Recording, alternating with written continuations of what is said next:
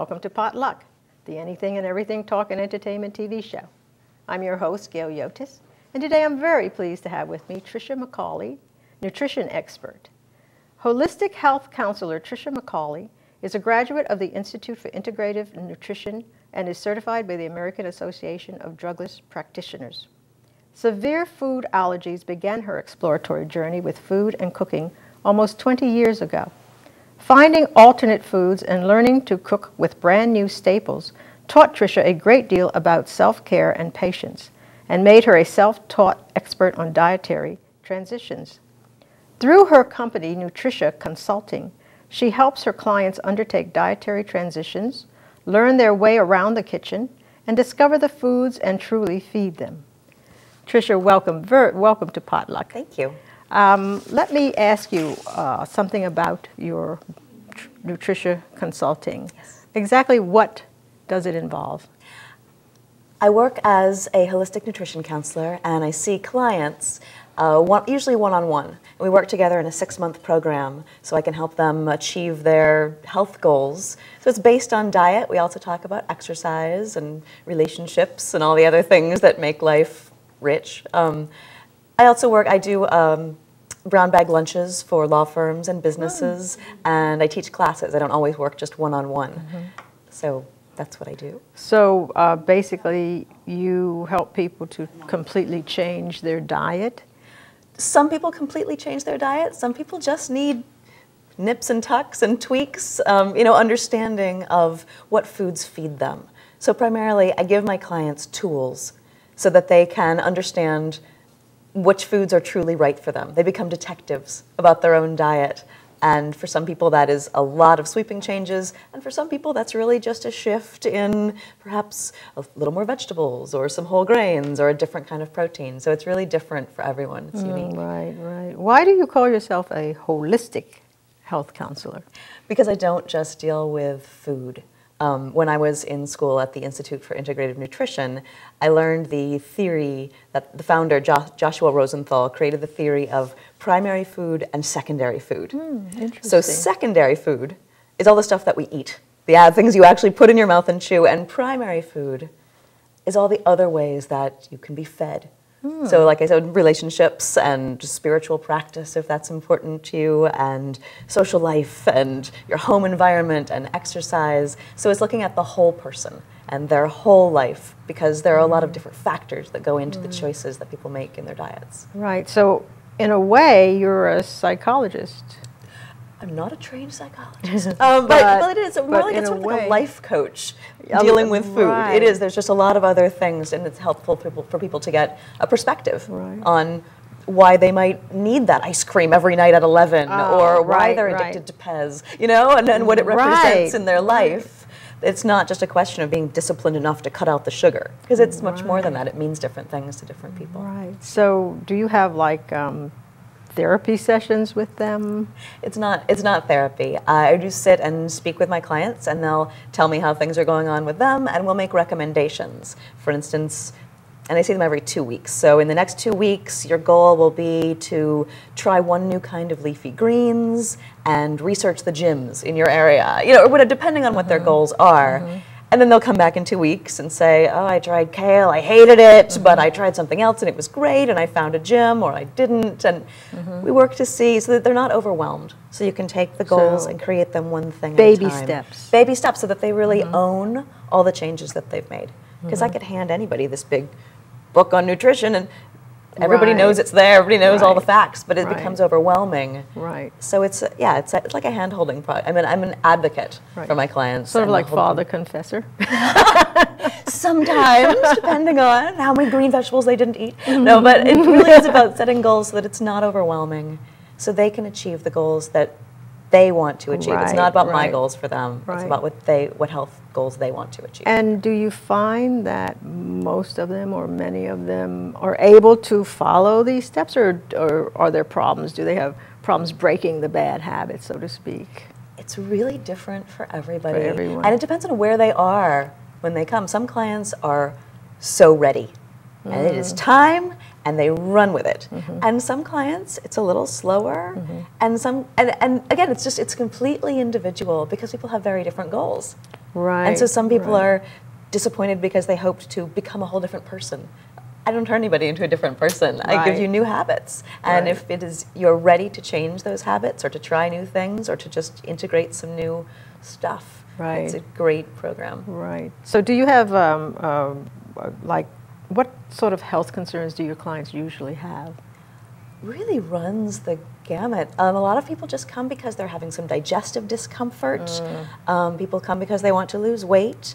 I have a number of Mm. clients who are diabetic and want to learn how to manage those levels and how to eat better to improve their health. Right. Right.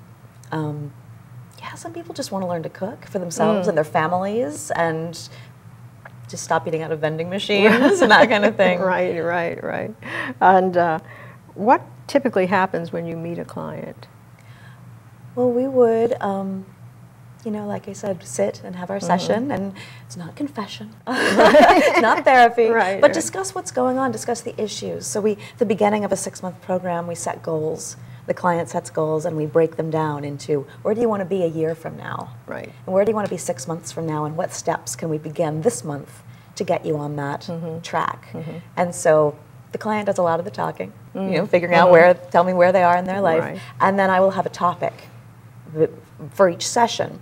So it might be, you know, whole grains, and so I will give handouts and recipes and um, food samples Mm-hmm. to help them, little starter kit, so mm. they can go home and work on that mm. topic. And so the, the topics for each session are, are tailored to each individual client because, of mm-hmm. course, they come in with different mm-hmm. needs. Well, you, you said that um, you found out that you had a lot of food allergies. Mm-hmm. Um, how did you, how did you find out uh, about your food allergies? It was a long journey. I, um, I would, I started mysteriously swelling up. Mm. So I would suddenly have this big, my eye would swell up, or my lip, or a big swell. Yeah, it was really horrible, and no one knew what it was. And there's just very, there was very, at that time, very little information about food allergies. So I thought, someone said it was spider bites, and I thought, am I allergic to chlorine in the water? I mean, I went through just so many changes. Um, and then I started going to acupuncture. And my acupuncturist had a background in nutrition, and right away she said, give up wheat and corn. And that made a really big difference. And so that was the first big dietary transition. Right. And then um, over the course of the next couple years, I used something called the pulse test. It's, um, oh, and I'm forgetting the name of the author. Oh, that's terrible. It's a book called The Pulse Test. Um, and it is, you can uh, take your pulse several times a day. So you determine your baseline pulse. And then when you eat a meal, 20 minutes later, you take your pulse again. And if it's gone up, you know that there was an allergen in that meal. So I'd already gotten rid, gotten rid of the gluten and the corn. And I used the pulse test to find uh, garlic and canola oil and um, Wow. what's my other allergy? Soy. Soy. Soy. So it was a Oh. big. It's been a big journey. That's a big change. Yeah. I'd die if I couldn't eat soy. Yeah. and I was a vegetarian. I was a vegan for Right. a while, so I had to go back to eating meat. really? Well, if you can't eat Well, wheat or garlic Or or, soy soy, you really can't be vegetarian. Yeah. So Wow. Yeah. Well, I, I mean, I know I'm a, um, I'm not a vegan. I'm a pescatarian, which you know I eat fish and Yes. seafood, but I don't eat any type of meat. And it must have been difficult because I know that once you train your system not to digest meat, you know, it's hard to to train retrain it. Did you have a problem there? I really didn't. I went very slowly. I went very slowly, and I chewed my food. Because I know that's a big you know, 26 times? Yes, many times, and uh, and it was, you know, if I ideally, environmentally, in the term, terms of sustainability, I would love to be a vegan, mm. but and you know, but, but it doesn't work for my body, and so this is also a lesson in. There's no one right diet that's Right. perfect for everyone. for everybody. And so, yeah, in my practice, Right. I don't have one diet that oh everybody needs to do. Right. It's really about learning the foods that sit well in your body and the foods that mm. give you energy. Right. So each person probably gets a different type of diet from you eventually because I guess they have to work their way through also like you did. Right. They don't get any diet from me. They get Right. tools from me Tools, and suggestions. right. And here, let's talk about uh, whole grains. Let's talk about root vegetables. Do they work for you? Do they make you feel good? Do they, or do they are they too Right. sugary? Are they too? Then don't put them in. You know, and really finding the balance. And it changes based on the seasons. you know, you need heavier foods in the winter because Right. your body needs to maintain its Right. uh, its heat and its livelihood Right. over the long winter fast, and then Right. lighter foods in the summer with the seasons, and so and depending on the climate where you live, your dietary Yes, needs are different, yes, and that's gender and age, and so it's an ongoing. Right. Now, this area here, you say climate. Um, what what kind of climate would be here, and what type of foods would we need? I mean, I know you have like a cold climate and a hot climate. Um, what what would the difference be? Well, we've got a little of both. We've got the here, cold yeah. winters, and not you know it's not like we're in Alaska, but we definitely have a winter. Right. But then in the summer we have that hot, mm. yes. humid. so the idea of you know making sure that you stay hydrated in the humidity and getting enough light Right, foods. That right. it really, if you think about the harvest, if you think about you go to the farmers market Mm-hmm. and what's there, because that's going to be local. so that's what True, you know. In the spring we have lots of light greens, and Right. the berries come out, and the sprouts, and those sort of to help us get off Yeah. that winter weight and transition into more energy. Right. So it really, and then as, as you know, summer is all that produce, and then we get into the more of the beans and the grains, and looking at the soups and stews through the winter Right. to keep us keep us warm. Right, and the, uh, I mean, like the natives of Alaska eat a lot of whale blubber. Yep. You know, and I mean, basically that's because they need that up there. Exactly. What is it like? Eighty-five percent protein and fat is their diet, Mm-hmm. and that would kill us because, well, partially because most of us are not genetically of that stock, Right. but also because we don't live in that Right. climate. We would all be having heart attacks. But Right. if it's the right climate and the right genetic adaptation, it's the perfect diet. Right, and I, I saw a thing on TV a long time ago on WETA, um, and uh, it was this man who went around the world, and he finally got to the, he finally got to the, I say utmost place of the world, the farthest end of the world, and it was up in this frigidly cold place, but people actually lived there, and I don't remember the name of the people who lived there. All they ate was some sort of blubber. I forget what animal it was because they couldn't grow vegetables. They couldn't grow anything, and that was that was their total diet, Yeah. which I found like, whoa, you know. But um, in this area, and what do you think of? And this is have this has become a really big problem all over the country of the obesity in this country. Why do you do you have any ideas on how that came to be? I have a number of ideas. yes, I, funny you should ask. Yeah, um, well, first of all, we don't move. Our bodies are meant to move around, and we live in a society where we sit. We sit at computers, we sit at Yes. desks, we sit. So we don't actually move. So we're having less caloric output. Right, right. And then we're eating high sugar, and it's refined sugar Mm-hmm. and unhealthy fats. You know, it's, it's not whale blubber, and even if it was, that wouldn't be appropriate for us necessarily. Right, but, right. but you know, unhealthy refined fats, um, hydrogenated oils, and corn syrup. Oh, High fructose corn syrup, and I really, it's not a substance found in nature. And corn is found in nature, obviously, but when you take it and add in more fructose, Right. it's something that your body does not know what to do with Mm. because it's not found in nature. Right, and fructose is in almost everything. If you read your packages, you'll see fructose, fructose.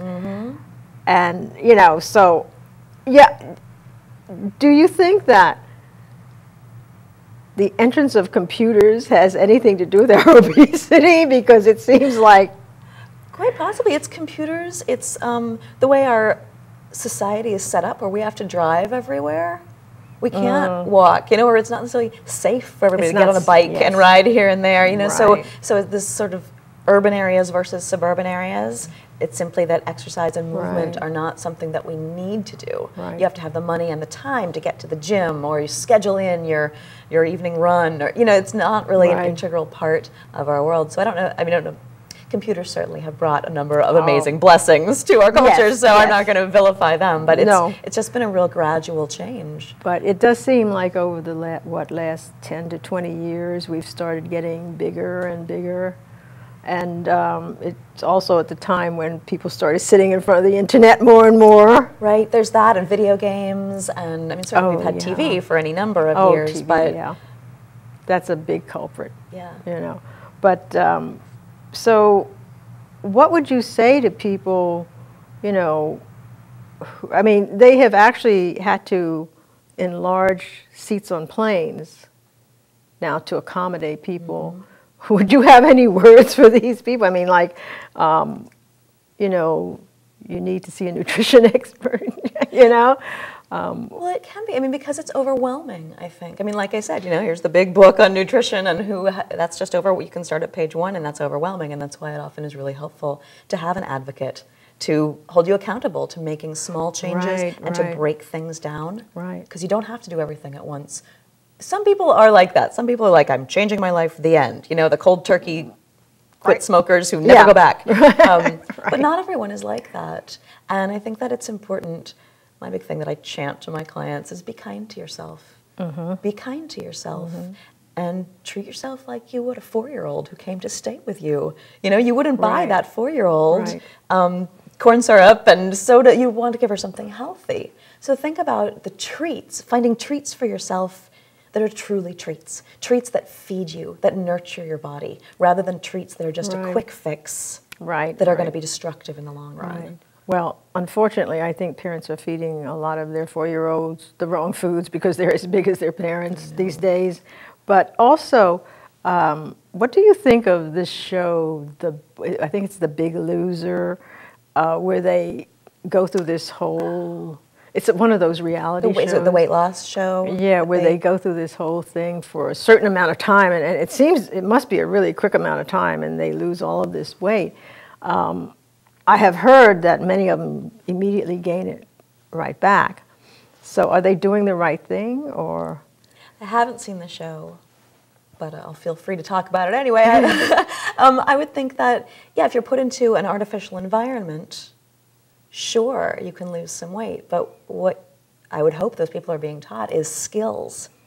Skills to integrate things one step at a time so that they own it when they leave the show. And obviously, that's not what they're being taught if they gain it all back immediately. Mm-hmm. But I know that there are programs like that and also TV programs that are very mm-hmm. successful. I think Dean Ornish's model, where he would go and put people on a very strict vegetarian, low fat mm. diet, and he taught them lifestyle changes. Uh-huh. And for the people for whom that diet worked, they they were on it for life. He made he made it theirs. Right. So it's possible, certainly, Right. to revamp in, a, in an artificial set, setting Right. and then take it home and own Right, it. right. But it doesn't sound to me from what well, you it said that that seems show so quick. successful.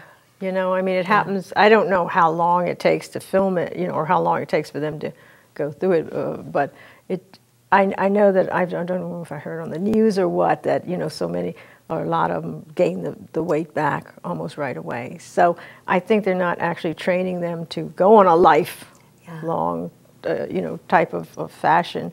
But um, the uh, the uh, the um, type of nutrition that you practice, how long would it take uh, a person to go to make a, a life change? That depends entirely on the person. Mm. It really does. Um, so, do you mean like a, a major weight loss life change, or just Uh, yeah, I would say a, a weight loss life change where they don't go back. You know, where, uh, or is it is it really possible? Or do you have to have a lot of willpower? You know? it is really possible? You have to be ready, because I'm not. I'm not. Uh, what's the word I want? I'm not forcing people to make changes. Right. So I am Right. holding their hand and guiding Right. them and helping them make the changes they want to make, make. But I'm not. If you want someone who's going to write out a meal plan for you and yell at you if you don't do, I don't do tough love. Right, Right. tough love, So I don't do that. right, and right. it's really about kindness Right. and learning to right. for my clients to learn to be kind to themselves. So long-term change, lasting change is completely possible because I'm not forcing anything Right. on them. And it depends on their motivation and giving and- tools. right. And so all Right. these little changes they make add up to a, a massive amount of change over the course of six months. and then if they mm-hmm. continue to implement them, Right. then it's a lifetime of change. So sometimes, you know, people eat for different reasons. Yes. They're depressed, or they're happy, or they've just lost a boyfriend, or they're breaking up. Um, do you make sugge- suggestions in that area where you say, well, you know, this guy is no good for you, you've got to get rid of him, or, you know, you've got to make not a dietary change, but you've got to make this lifestyle change. You can't keep going to this particular bar, you know, something like that. Do you give those type of recommendations? I don't do tough love. So, it is not my business to tell you who you should date or what bar you should go to. Mm-hmm. But I do give perspective, you know, and sometimes just I've had clients who've had massive revelations just by filling out their Mm. initial health history form because they suddenly said, "Oh, this and this. Oh." You know, that's when that started, or this is when this happens because Mm. they couldn't connect it before. So it really is giving perspective. Mm-hmm. I've had a number of clients who have changed jobs, who have really shifted their career around because they realized, oh, I'm really bored and unhappy at work, and that's why I keep eating this, and that's why I can't get enough sleep. And so, but I would certainly never say to someone, you're going to be quitting your job. Right, Yeah, that's right, not my, that's not my job. That's not my place at all. Right, right. But th- that's very interesting. It's, it's what Freud calls the aha experience. You know, after so much therapy, all of a sudden they get it. Aha, that's why, you know. Yeah, that's interesting. Um, so uh, you, you also, you don't do this full time, do you? Or do you do this full time now? Because I know. business? Yeah. It's part time. I'm also in graduate school right now. Oh. And uh, I also do a bit of theater. Right. Uh, I know that you, you do, uh, the, do you do just uh, theater or do you do film also?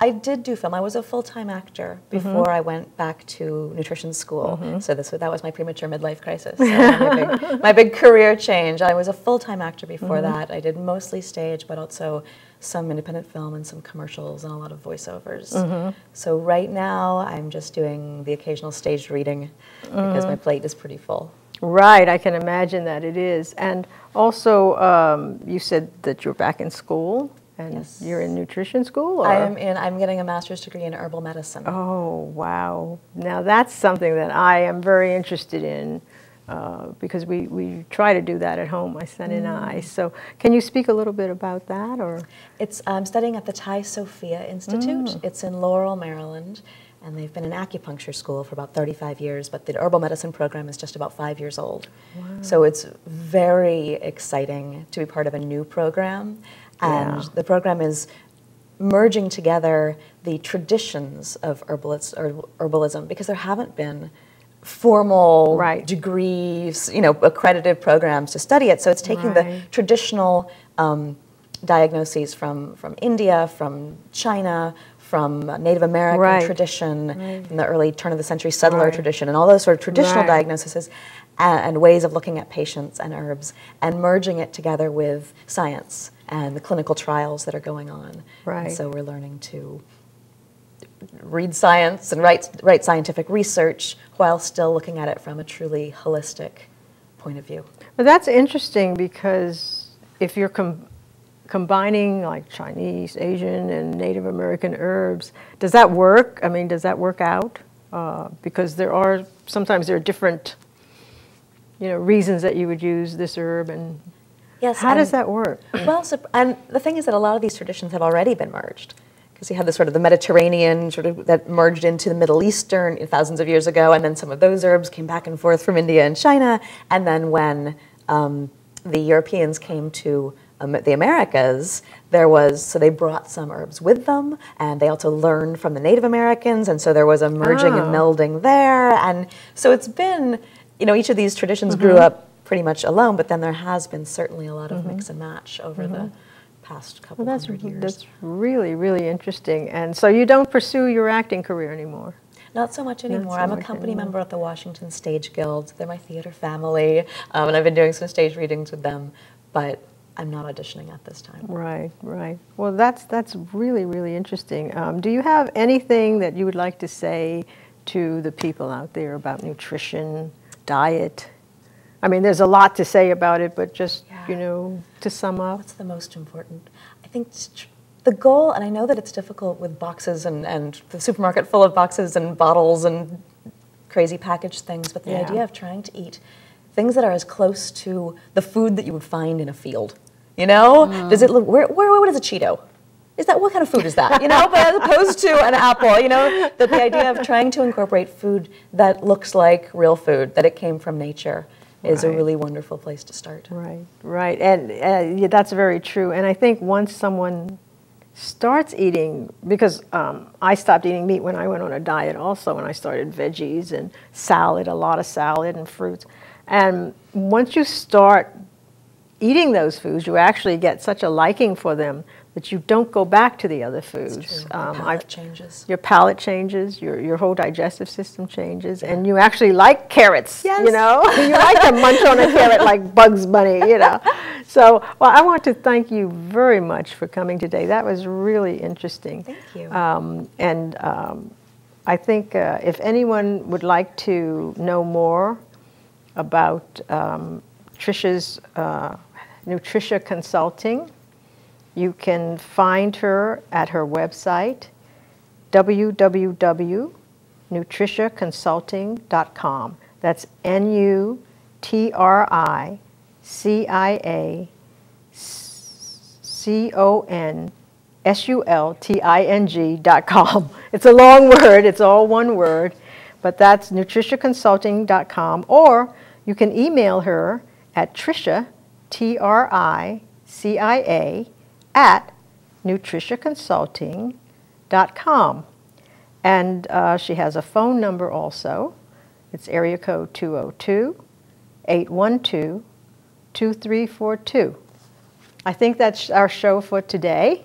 Uh, I want to thank everyone who joined me, and I hope you will join me next time because on Potluck, you never know what we'll dish up next. Thank you.